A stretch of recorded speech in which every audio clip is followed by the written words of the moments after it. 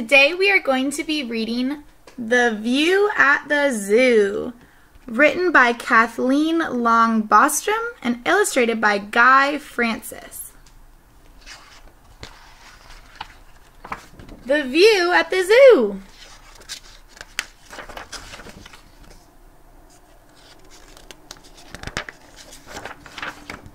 Rise and shine! Attention, please! Monkeys, get down from those trees!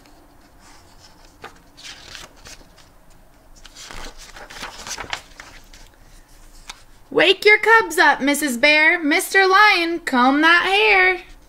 Look at his messy hair. Elephant, please wipe your nose. Pink flamingos, on your toes.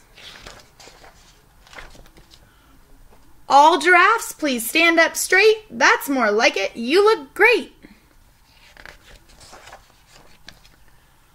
All is ready. Come on in. Let the day of fun begin.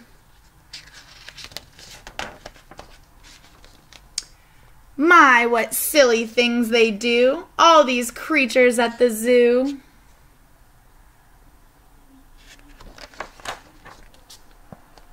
walking on all kinds of feet, dancing to an inner beat. Babies riding on their backs, on their bellies snug in sacks. Hear the silly sounds they speak as they howl and squawk and shriek.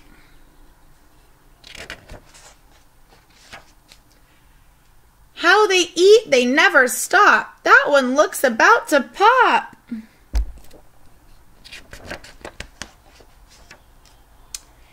Them prance and primp and preen, trying to stay neat and clean.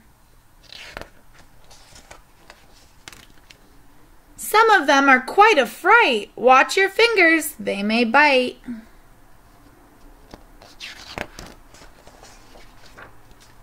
Sun is setting in the sky. Everybody say goodbye.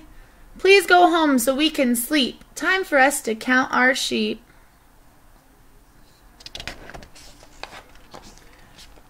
They're leaving. Off they go.